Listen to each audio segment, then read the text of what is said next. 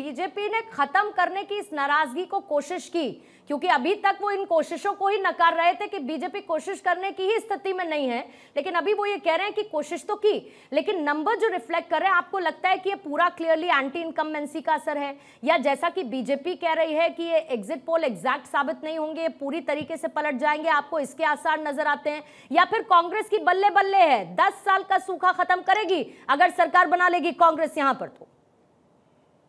देखिए मैंने अभी पहले भी चर्चा में इस बात का ज़िक्र करा था कि यहाँ पर ये जो एग्जिट पोल के आंकड़े सामने आ रहे हैं तो ये they are on the expected lines यही हम लोग उम्मीद लगा के बैठे थे। हम्म। क्योंकि यहाँ पर ये बोला जाए कि बिल्कुल एक जिसे अंग्रेज़ी में कहते हैं थम्पिंग मेजोरिटी कांग्रेस को मिलेगी। क्योंकि बार बार जो बोला जा रहा था कि बिल्कुल जनता आक्रोशित है देखिए आक्रोश अपनी जगह है एंटी इनकम्बेंसी अपनी जगह है पहलवानों का गुस्सा अपनी जगह है। जवानों का गुस्सा चाहे अग्निवीर की बात करें सरकारी नौकरियों की भर्ती की बात करें वो अलग बात है।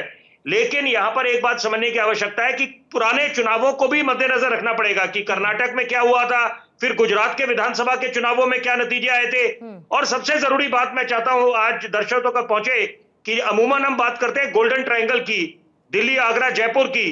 तो यहाँ पर अगर मैं उस बात में इजाफा करूँ एक डायमंड ट्राइंगल दिल्ली पंजाब हरियाणा तो यहाँ पर उसका क्या मायने हुए कि सहूलियत की राजनीति हो रही है हम्म। कि अब यहाँ पर बड़ा दिलचस्प हो जाएगा क्योंकि एक किसानों का मुद्दा अपनी जगह बरकरार है पंजाब के और जो अंबाला के वहाँ रस्ते पे क्योंकि मैं पंजाब में काफ़ी समय मैंने बिताया अभी हम्म। हाल फ़िलहाल में पिछले वर्ष और यहाँ पर हरियाणा में मुझे काम करने का मौका मिला है तो यहाँ पर ये क्योंकि अभी क्या किसानों का मसला सुलझेगा हम्म। ये सबसे बड़ी बात है हम्म। और दूसरी बात है क्योंकि आपस की जो तकरार है हम्म। आम आदमी पार्टी और कांग्रेस की जो उनकी भाजपा के साथ नाराज़गी है वो अलग बात है लेकिन यहाँ पर क्योंकि दिल्ली में विधानसभा में चुनाव है वो ज़्यादा दूर नहीं है तो यहाँ पर क्योंकि पंजाब में जब कोई सीट शेयरिंग का इनका आपस में समझौता नहीं हुआ। हाँ। दिल्ली में सीट शेयरिंग तो करा लेकिन नतीजा तो, ठीक है तो हरियाणा में भी तो दोनों ने अलग अलग लड़ने का तय किया ना उसमें क्या दिक्कत है? और आपने, आपने वंदना जी को सुना आपने वंदना जी को सुना और सुबह से मैं तो चर्चा कर रही हूँ क्योंकि विपिन जी बार बार आम आदमी पार्टी क्या कह रही है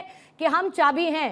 अब वो चाबी कितने बड़े तालने ताले को खोलने का मादा रखती है ये तो ज़ाहिर बात है कि एग्जैक्ट नंबर्स जो रिफ्लेक्ट होंगे नतीजों वाले दिन उस पर निर्भर करेगा। लेकिन इसमें भी कोई दो राय नहीं है कि अगर ज़रूरत पड़ी समर्थन देने की तो आम आदमी पार्टी समर्थन नहीं देगी। वो समर्थन डेफिनेटली देगी। भले ही बाहर से दे लेकिन समर्थन देगी ही देगी। ठीक है जल्दी से आप कुछ दस सेकंड में विपिन जी इस पर बोलना चाह रहा हूँ। देखिए आत्मविश्वास बड़ी अच्छी बात है हम्म। लेकिन यहाँ पर ओवर कॉन्फिडेंस कि यहाँ पर जो भाजपा ने गलती करी कि 400 हम्म। पार क्या नारा दिया वही बात है आम आदमी पार्टी सुनने में बहुत अच्छा लगता है हाँ। कि आपने अकेले चुनाव लड़ा है लेकिन जो नतीजे आए हैं हम्म। और अगर वो आठ अक्टूबर को यही आता है लगभग इसके आसपास ही बैठता है हम्म। तो वो मुझे लगता है निराशाजनक होगा क्योंकि इसका असर दिल्ली के चुनावों में पड़ेगा और कांग्रेस का मनोबल तो सातवें आसमान पर होगा ही होगा क्योंकि यहाँ पर अगर उन्होंने जीत हासिल कर ली है दोनों जगह नेशनल कॉन्फ्रेंस के साथ जम्मू और कश्मीर में सत्ता पे काबिज हो जाएँगे और हरियाणा में अपने दम पे तो सीधी बात है कांग्रेस दोबारा चुनावी मैदान में आ जाएगी। हम्म। अच्छे दमकम से दिल्ली में जहाँ पर अच्छी बात जहाँ पर विधानसभा में खाता नहीं खोल पाए यही है मुझे लगता है विपिन जी जो बहुत अच्छी बात है। लेकिन सौरभ दुबे जल्दी से बताते हुए क्या है ये? जो अभी सुपर एग्जिट पोल के नंबर्स हैं क्या है? ये ओवर कॉन्फिडेंस या फिर नैरेटिव काम कर रहा है? देखिए अभी जो आम आदमी पार्टी की हम्म। प्रवक्ता हैं उन्होंने स्वयं कहा कि ये एग्जिट पोल जो है उनको सही नहीं लग रहा है हम्म। इसका मतलब उनको लग रहा है कि कांग्रेस पार्टी जो है वो हार रही है तो इसका मतलब ये भी और लग उनको लग रहा है कि भारतीय जनता पार्टी जीत रही है तो ये इस तरह के एग्जिट पोल में जब संभावना जताई जा रही है जितने की तो बहुत सारी संभावना फिर हम निकाल हम्म। सकते हैं आम आदमी पार्टी की प्रवक्ता के हिसाब से तो देखिए अगर वहाँ पर सीधी सीधी लड़ाई तो निश्चित रूप से कांग्रेस और भारतीय जनता पार्टी के एक दूसरे के साथ है हम्म। अब वो भारतीय जनता पार्टी की जो सीटें हैं वो कांग्रेस कितनी कम कर पाएगी बस इसी की बात है मुझे लगता है ये जो 50 से 55 लगातार सर्वे में अभी दिखा रहे हैं कांग्रेस पार्टी को हम्म। मुझे लगता है कि ये बहुमत के आंकड़े के आसपास अगर जाती है कांग्रेस जो है हम्म। तब तो ठीक है नहीं जाती है तो फिर इनकी इनको मुश्किलें आएँगी फिर भारतीय जनता पार्टी अपनी गठबंधन में दोबारा से सरकार बना सकती है ऐसी संभावना भी है अगर पूर्ण रूप से माने। और क, अगर कश्मीर को भी मान ले कश्मीर में देखिए कश्मीर में पहले ही जानती थी भारतीय जनता पार्टी हाँ। कि उसको घाटी में सीटें मिलने वाली नहीं है यह ईमानदारी से वो जानती थी। फिर भी उसकी ईमानदारी से उसने चुनाव लड़ाया। क्यों? क्योंकि कश्मीर में वो चाहते हैं शांति स्थापित हो। कश्मीर के अंदर जो है कश्मीरियों को जो है विकास का रास्ता नेशनल कॉन्फ्रेंस का साथ आने का दाव तो काम आया ना। नहीं नेशनल कॉन्फ्रेंस का देखिए अब एक बात को आप सत्तर की वापसी का नैरेटिव चला क्या? तीन सौ सत्तर तो कभी वापसी नहीं चला क्या? नैरेटिव का बनाने का प्रयास किया गया उसी तरह से जिस तरह से संविधान खत्म कर दिया जाएगा हम्म। बीजेपी आएगी तो आरक्षण खत्म कर देगी हम्म। इसी तरह का एक नैरेटिव निश्चित रूप से घाटी के अंदर बनाया गया। अरे भैया जनता बेवकूफ़ नहीं है जनता ने अभी अभी अभी एग्जिट पोल है महाराज अभी जनता को बेवकूफ़ मत बोलिए आप। जनता को बेवकूफ़ मत बोलिए। शर्मा जी जनता को बेवकूफ़ नहीं बोलना लेकिन नैरेटिव तो काम करता है ये तो राजनीति तो किसका खेल है? तो राजनीति किसका तो खेल है? जो तो पढ़ ले जिसको जिस तरीके से राजनीति उसका खेल है। और ये सब पार्टियाँ करती आई हैं तो राजनीति तो नैरेटिव बोलना चाहता हूँ। बीजेपी तो नैरेटिव का खेल है। राजनीति बीजेपी के एजेंडे में कभी भी देशद्रोह एजेंडा नहीं जो जिसको जिस बात पे ज़्यादा कन्विंस कर ले वोटर को राजनीति तो उसका खेल है। शक्ति इनके हाँ। पास तंत्र इसके पास मंत्र इनके पास हाँ। और फिर भी नैरेटिव क्रिएट कर रहा है विपक्ष जिसके पास आपको लगता है लोकसभा आपको लगता है लोकसभा चुनावों में संविधान खत्म कर देगा नैरेटिव कांग्रेस को मददगार नहीं हुआ। आपको लगता है आपको लगता है कि संविधान खत्म करने का नैरेटिव कांग्रेस को लोकसभा में फ़ायदा नहीं देकर गया है? डेफिनेटली देकर गया है। तो बदल गया।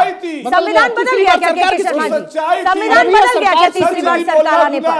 संविधान बदल गया क्या? के के शर्मा जी के के शर्मा जी संविधान बदल गया क्या? इनकी तीसरी बार सरकार आने पर बदल गया कि नहीं बदला? या तीन बार सरकार में रहने पर इन्होंने संविधान बदल दिया क्या? होने की दो चाबुक है ना तो कौन खींच रहा है उसको? साउथ में। कौन नकेल कस रहा है बताइए?